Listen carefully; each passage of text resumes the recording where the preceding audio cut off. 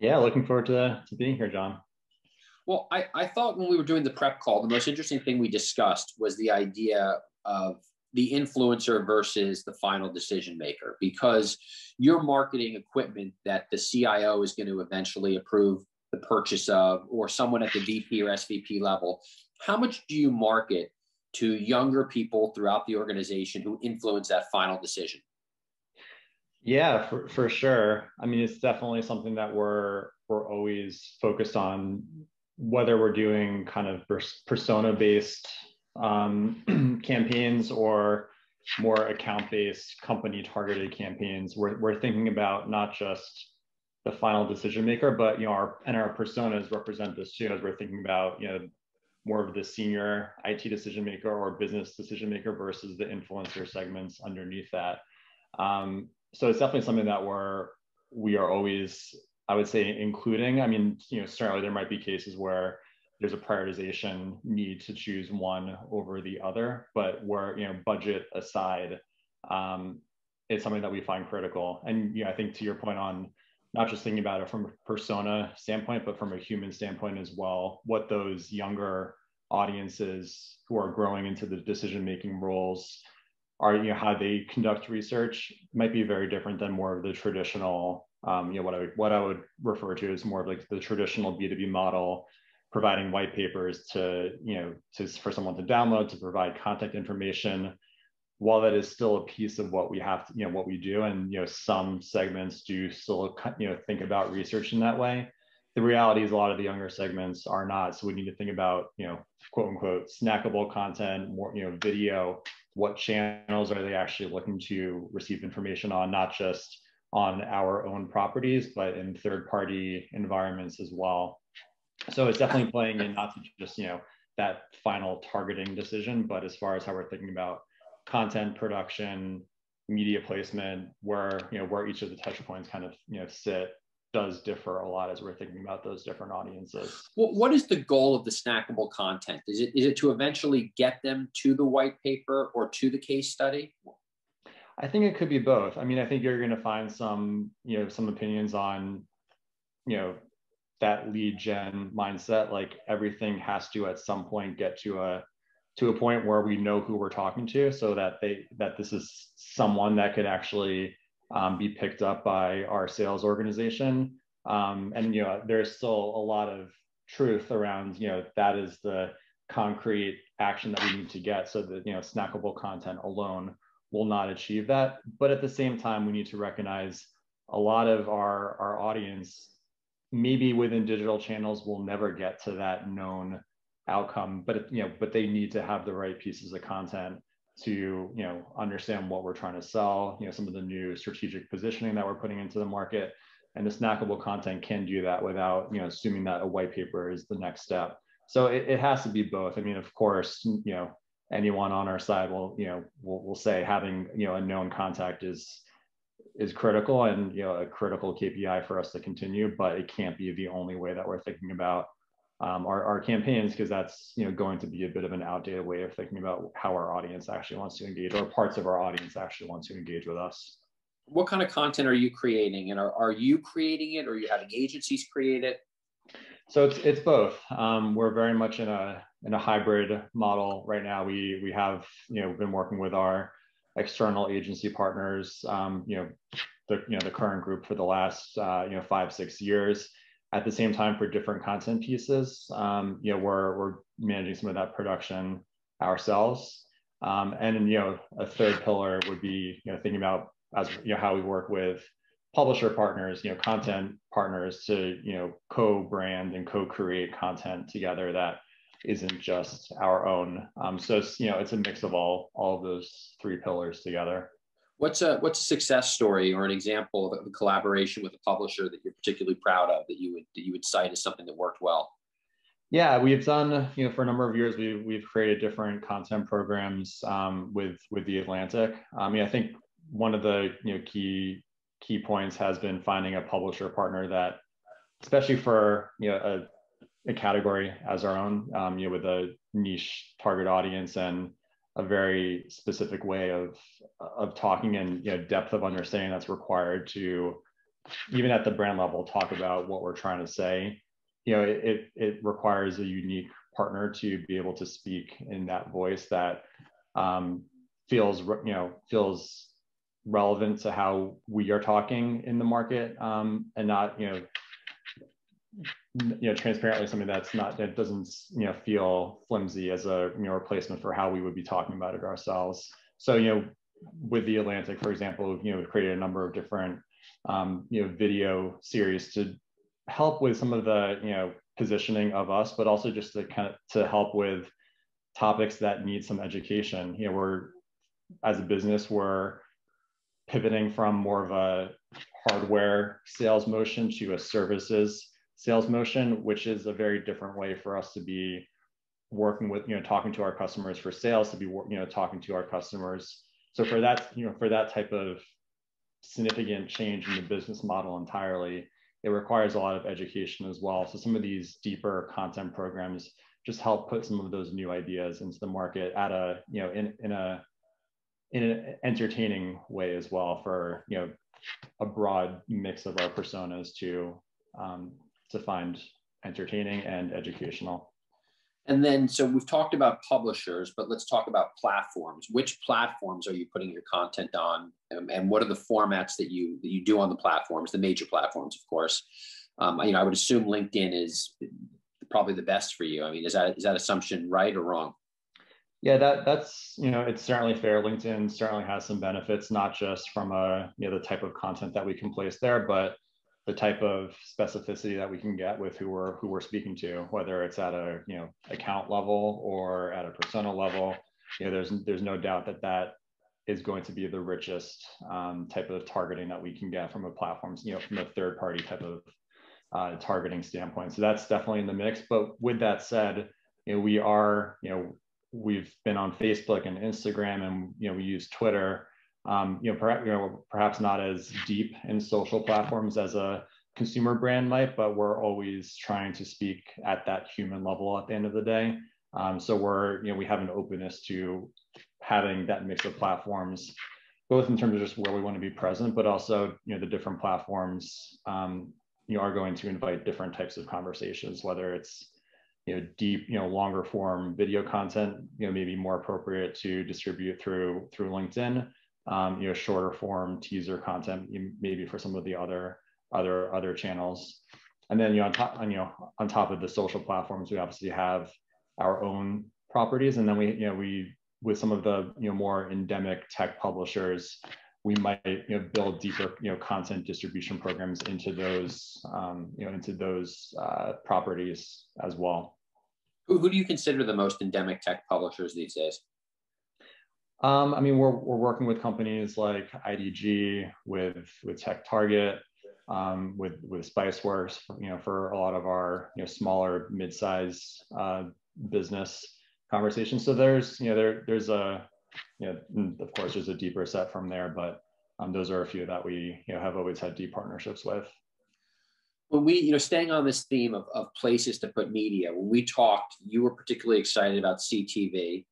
Uh, seems like everybody's excited about CTV. Tell, tell us a bit about how you're working in that space. And by the way, if you've got questions, you can put them in the Q&A and I'll make sure to kind of work your questions into Adam.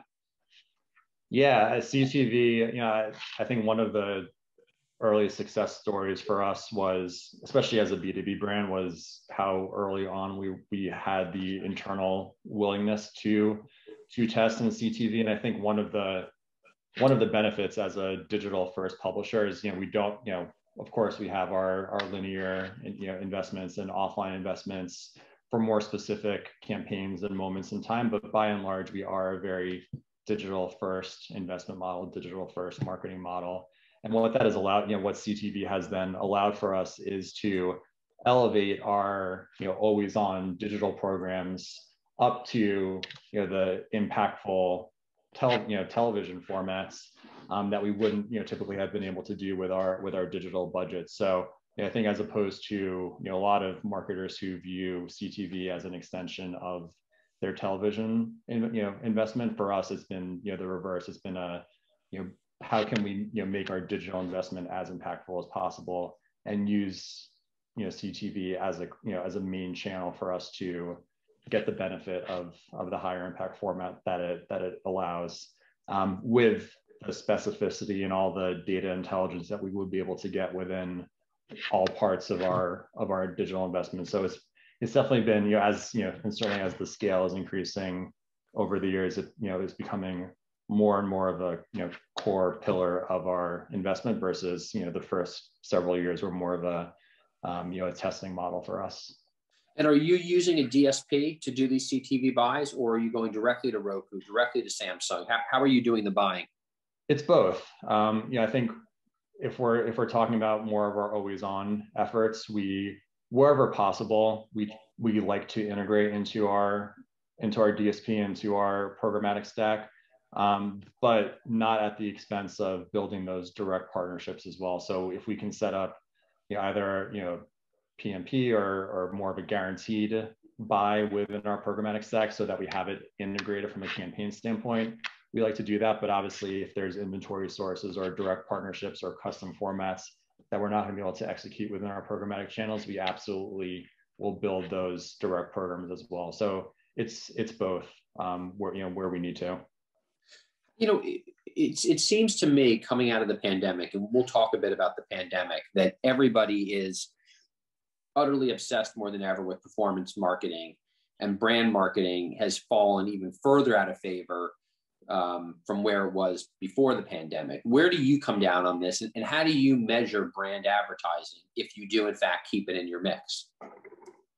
Great question. I mean, and it's been it's always a you know different mix year to year with you know some years having been more performance based, some years being more brand based. You know, for those on the line who are not familiar, and actually when I when I joined the organization back in 2015 the former Hewlett Packard was splitting into two organizations, the consumer side and the enterprise side. So, you know, for those early years of the new version of, of HP, of course, it was extensively um, weighted towards the brand side to, you know, allow our audience to know who this new, you know, HPE was. Um, you know, in some of the later years, it's, you know, kind of re- reverted a bit back more towards the performance side. Um, I would say, you know, it's, it's still a healthy mix for us.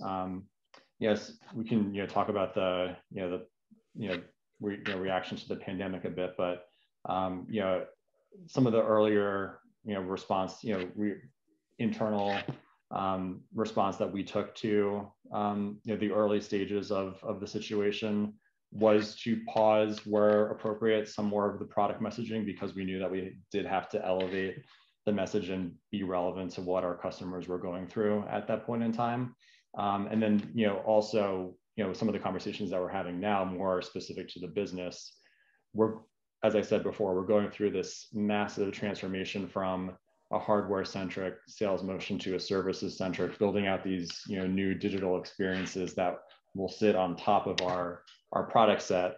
Um, and that's, you know, that's a big shift that a lot of our customers are still getting used to. Um, we're, not, you know, we're not the only and that requires and, and, that and that requires brand marketing, I assume. Exactly. That's you know that's what I was going to get. And like that. Do you, do you, measure it with brand lift? How do you measure the efficacy of, of changing that mindset from hardware company to solutions company? Yeah, um, you know, a couple of different versions of, of brand lift, whether it's our our ongoing tracker um, with some of those you know key perceptions that we know we have to shift, or more of the you know campaign specific ad effectiveness type of um, brand impact measurement that we would put in market. It's, it's a mix of those. Yeah, I, I think even where appropriate in the brand investment, if we, you know, if there are high value digital engagements that we do want to drive, you know, that might be part of the KPI set, but that would certainly all be secondary to, you know, some of the bigger shifts, you know, perception shifts that we we have to drive as a business. And that's how we would judge success of those investments. Let's let's talk about the pandemic and you know walk us through your your budgetary pandemic journey. You know, what you guys did in March, what you did halfway through the pandemic, what you're doing now. Yeah, so the you know the early stage obviously was us trying to assess the situation, you know, with the the ambiguity that you know we, as everyone, did not know where it was going to go. Um, so we took you know, as many advertisers took some cautious approaches to pause as much of our um, investment as we could for a short duration of time to decide was it appropriate to have that investment in the market? Um, but ultimately, you know, the bigger um, initiative that we took was to actually just build out some new brand level campaign messaging to be appropriate and relevant for the, for the time. Um, we, we, we dubbed it as our here to help initiative, but you know, specifically how we were helping our customer organizations respond to um, this time. And it, you know, it was it was much more than just a campaign because there were truly some new, you know, product offerings like our Aruba business, wireless um, wireless offer, offerings that companies actually needed at, at, that time to stand up you know the new remote way of working mm-hmm. um, and also potentially we you know some new financial models to help our customers pay for investment that um, in, perhaps they needed to kind of stagger out over time and you know delay some payments to actually stand up new um, new infrastructure during that time so we had true relevant business offerings that the campaign sat on top of and that became a bit more of our, you know, I would say short to midterm focus. We shifted a lot of our product product investment to that to that message. Um, but I was, you know, and to, you know, to probably the mid to later stages, you know, we were, you know, ultimately reinvesting back into those critical product campaigns.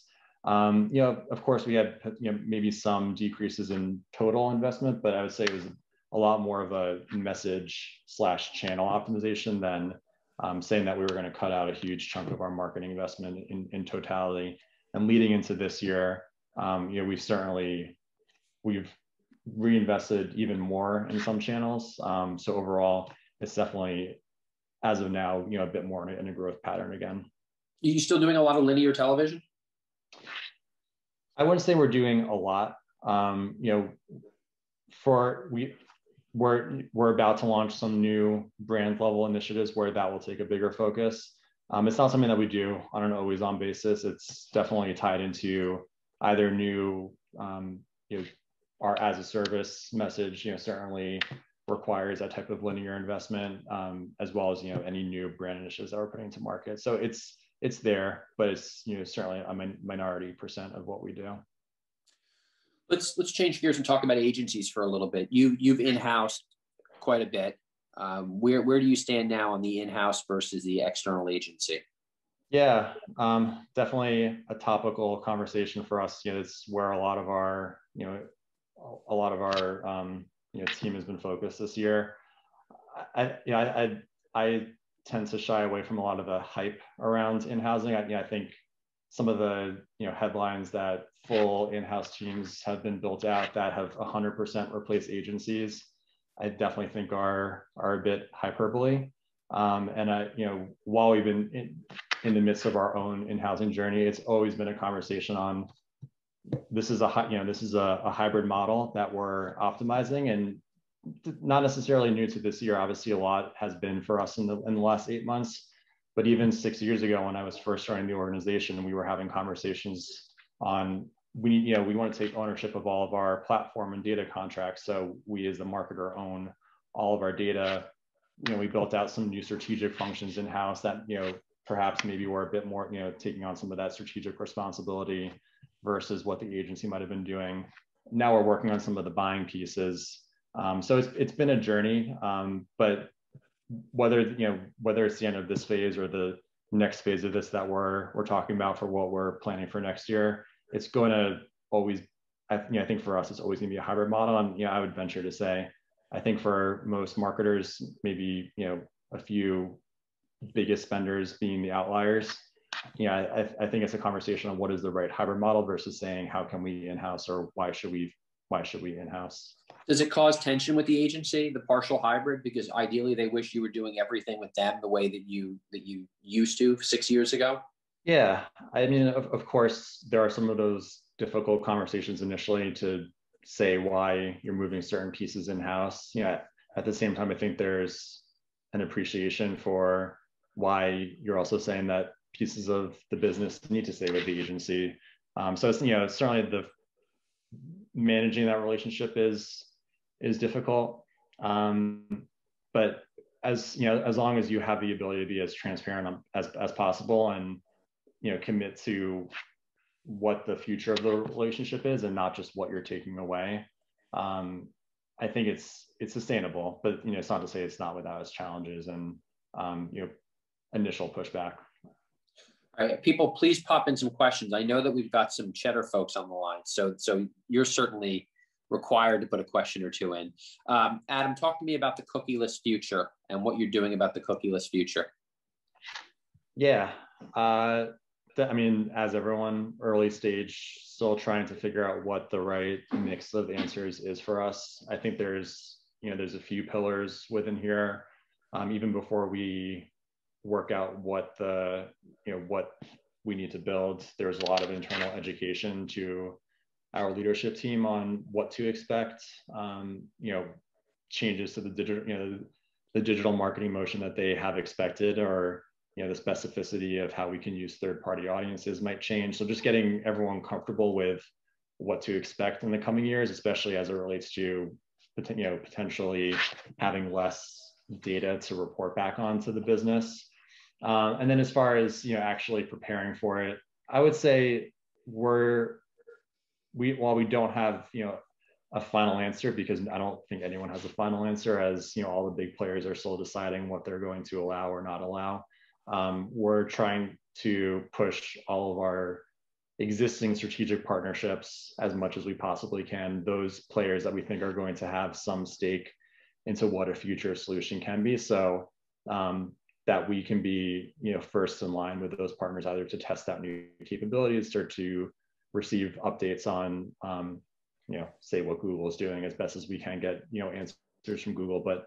that type of, you know, just deep partnership to, um, you know, have a variety of, of options. And I think that's the key point that we have a variety of potential answers to what the, you know, what we need to test from a buying standpoint, from a measurement standpoint, um, knowing that, you know, I don't think anyone fully knows which of those partner answers is going to be, you know, a long-term solution or, you know, ultimately some of them will not pan out. So we have to keep our. Does it make? I mean, does it make endemic publishers, those kind of tech publishers we talked about earlier, does it make them more attractive vis-a-vis a Facebook or a Google or, or even a LinkedIn because context will matter so much more and first-party data will matter so much more in a world without cookies?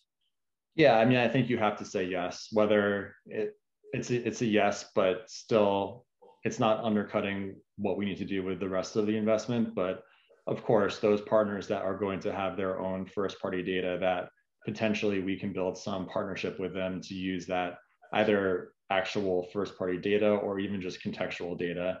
Um, yeah, I mean, I think whether it's those endemic partners or say some of the, the native distribution partners that also have their own suite of contextual information, wherever that context data sits, certainly I, I would agree there for, for a B2B advertiser like us, um, where we need to have that specificity at the very least at the context level. Um, that's going to be critical you know, versus say a Facebook where perhaps that you know they may you know we may not have that specificity. How are you feeling about the back half of the year? I mean, are you feeling highly optimistic? Do you think the world is going to open up? Do you think business is going to start roaring? Do you, are, are you more, you know, kind of tepid than that? You know, where, where's your head at in terms of where you think the kind of pandemic cycle is right now in terms of what it'll do for your business? Yeah, I think from a business standpoint, there's a lot of of optimi- optimism. I think there's you know a lot of you know just pure sales success that we're seeing in the in the first part of the year. Um, from a personal standpoint, I you know I personally I'm while I'm optimistic, I th- you know still have some trepidation of what could still happen and what could still change again. Um, but I think we're you know we're seeing from an investment standpoint, um, and we're actually a bit deeper into our year because our fiscal starts in November, and we're we're deep into planning for for next year already. Um, you know, I think some of the you know hope from an investment standpoint on what we can what we can add back in is it's overall good news. So I, I think we you know we're, we're thinking about in-person events for you know and we've you know the last actually our our Discover event um, is is next week. This year it'll be virtual again, but we're thinking about you know some half year versions of that, you know, six months down the line to start to bring customers back in person. I think that certainly is, is exciting, not just for the sales team, but for all of us, just given you know what that will will reopen in terms of deeper customer conversations. You've been in this role six years, right? That's right. What what what have you learned in the, what have you learned in six years? What have I learned in six years? Or give me the one give me one or two top things that you've learned, and, and then I've got some other questions about past six years. But go ahead. I would say one thing which is both I, I think it's largely indicative of just internal org structure, especially for a company like ours, is how challenging it is to bring customer centric motions to not just our media buying, but you know, to, to marketing planning, you know, as well as we're we're certainly a very product centric organization, which is which is why this this services transformation is so big for us if we're able to be successful in that. But you know, purely from you know a media buying, you know, media strategy standpoint, I've spent many of those years, you know, trying to build the internal structure to move away from you know siloed product campaigns to more of a you know customer centric way of activating. Um, you know given that most of our products and most of our campaigns are speaking to a lot of the same individuals you know it's not as if each of the products has its own unique customer set um, but just organizational structure wise it's challenging. Even you know, even as we built you know, we, we did build that that notion you know perhaps about halfway into my my tenure here. But keeping that alive keeping that you know from reverting back to you know product marketing teams kind of taking the lead in their you know in their silos it's an ongoing challenge and an ongoing conversation to you know keep that as a you know keep that focus um, for the for the marketing organization. Even you know obviously the the buzzword of it you know no one's going to disagree with but to actually prevent organizational changes from um, from reverting back. Um, i think that has been a key learning for me. Uh, Keith Bowen, who's the chief revenue officer of Altice, he asks, "What do you think about the upfront, and do you participate in the upfront, and is it still relevant?" Um, I mean, I think our answer has to be taken with a grain of salt, given you know w- what we typically do from a you know linear standpoint. For us, it never really was a key part of our our planning cycle. I mean, of course, we participated um, to hear any of the new announcements, but as far as committing investment, um, it's not something that we would typically do. Um, so I don't want to speak for you know other advertisers who have had more of a historical presence there, um, but yeah, it hasn't been too big for us. A couple more questions. How do you approach emerging media channels, and how do they factor into your overall strategy?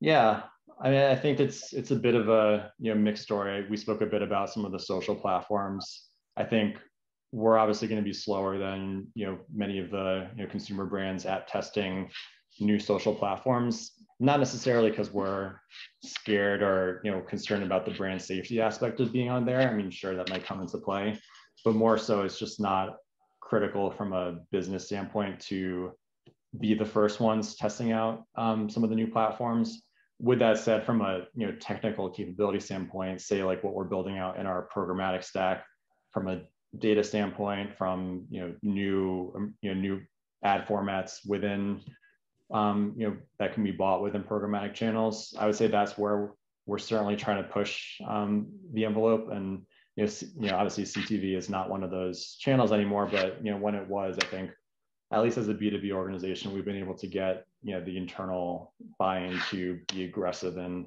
in building out um, you know strategies and it, you know kind of working in those emerging channels within within that type of mindset. Um, the next question is as a B, and I'm, I'm going to alter the question a little bit. The question is as a B2B brand, how important is brand purpose and brand story? I, I know the answer is going to be very important. My question to you would be how is it different as a B2B brand?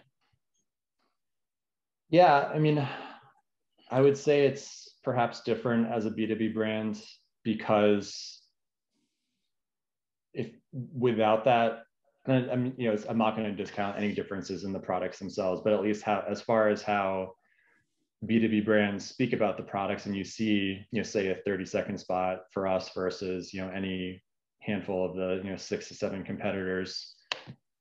From a layman standpoint, I think it, you know, kind of all can blur, blur together very easily. So without that brand purpose, without that brand positioning, I think we would, you know, we would lose probably the most important differentiator that we have I mean, of course, we're going to have the buyers who are, you know, focused on the product specs, and that will be part of the decision. But I think getting our customers to buy into where we see the future of the industry, whether it's this, you know, services motion and building out these experiences um, to become more, you know, digital first and how how our customers use our products. Um, yeah, I think those are going to be the longer term opportunities for us to really keep, you know, keep our, you know, current customers loyal and you know get our you know get other prospects to consider some type of transition to us. All right. Well look we've gone for about 30 minutes and i think we've gotten through some questions. Let me uh, let me ask you is there anything that I, I didn't ask that you want to talk about that kind of plays into this future media conversation future of advertising? Did i forget anything? Yeah i would say going back to the and you did you did bring this up so i just didn't address it but on the cookieless conversation yeah.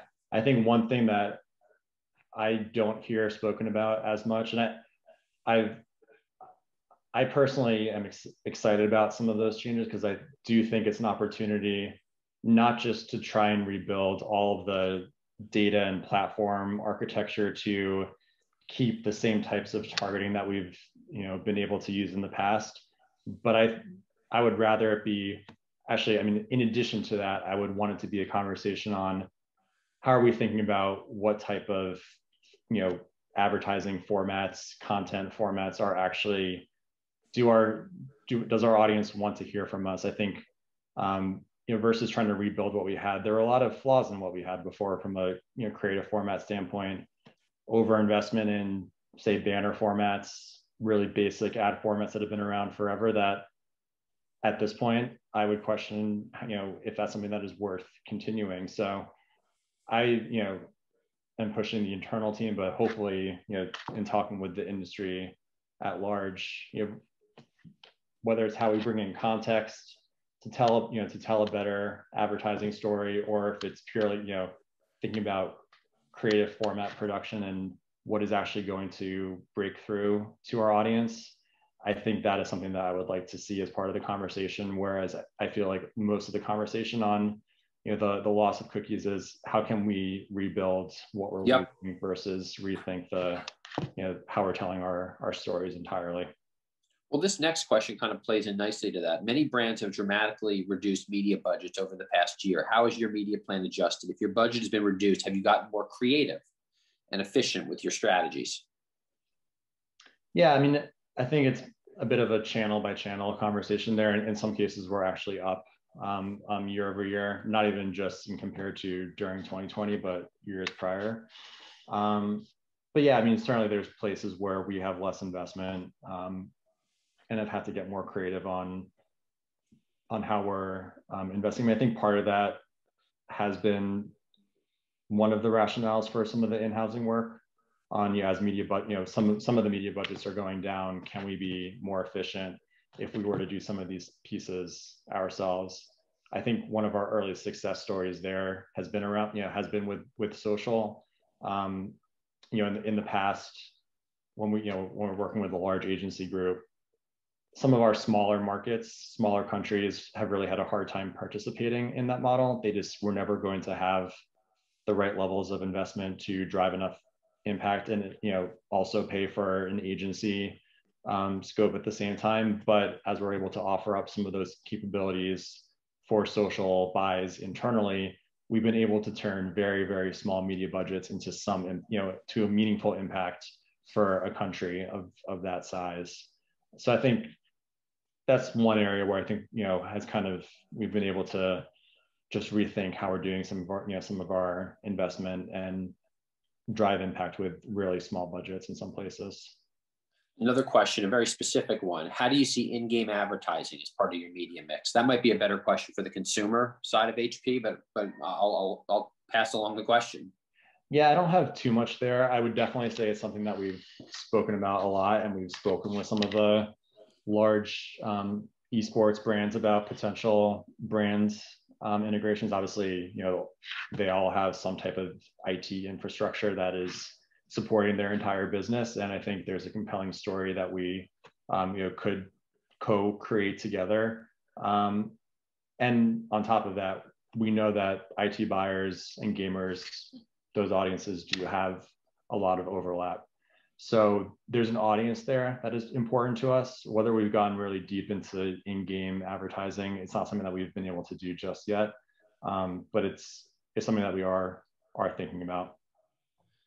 All right. Well, Adam, I can't thank you enough for participating in this. I really appreciate it. It was a far-ranging conversation where I think we covered every aspect of your business.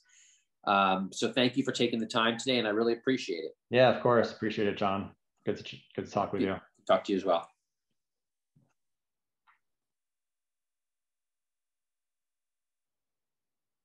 I don't know. Do we? Is does the moderator come back on? Jesse, hey, you're muted. Oh, whoa. Ooh, first time. Um, yeah, thanks so much, guys. That was awesome. Always great to kind of take a peek under the hood of those B2B brands. So really appreciate it, Adam. Thanks, Jon. Awesome conversation. I hope you guys have a great day. Thank you so much. Thank Talk you. to you soon. Sweet. Awesome. Well, such a great conversation. Um, up next, we have the pleasure of having Candace Bixler, the uh, head of integrated media from Petco and Justin Gutschmidt from Premion, the uh, head of national sales. So welcome Candice and Justin. Um, while we wait for them, oh, perfect. Justin's hopping on. Hey, Justin, how's it going? Hey, really good. Jesse, how are you? Fantastic. That's good. We're running a little ahead of schedule today. This is great. I know we're moving fast. It's good. You know, we get off a little early on a Thursday. Can't come. Yeah. All right, sounds good. Is uh, is Candace here yet, or are we still waiting on her? I think we're waiting on her for a bit so we can stall a little. Where are you uh, based out of? So I was a trendsetter. I'm based out of uh, Cleveland. Our offices in New York. Um, before the pandemic, this company let me work remote, and uh, and then everyone else worked remote, and it seemed like the normal thing to do. So it was uh, it was a good situation. Um, yeah, so I'm based out of Cleveland. Awesome. You set the trends. Any uh, big plans for summer? I know things are opening up there.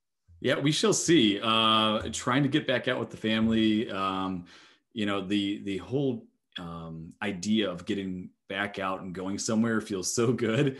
Uh, it's it's just a matter of where at this point. So uh, we're still